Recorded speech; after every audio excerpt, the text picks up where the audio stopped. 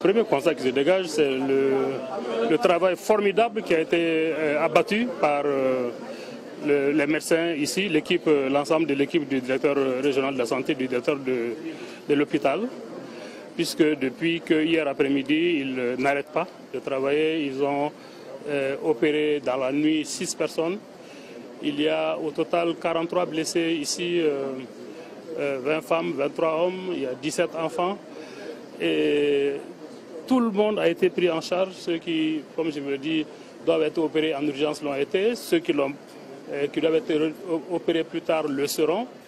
Et l'ensemble de la prise en charge a été totalement gratuite. Le ministre de la Santé a ordonné à, ses équipes euh, ici au niveau de l'hôpital et toutes les autres ressources euh, dans la ville, dans la capitale, enfin la régionale Mopti et dans les environs de faire venir sur l'hôpital Sommet de l'eau toutes les provisions des médicaments qui existent.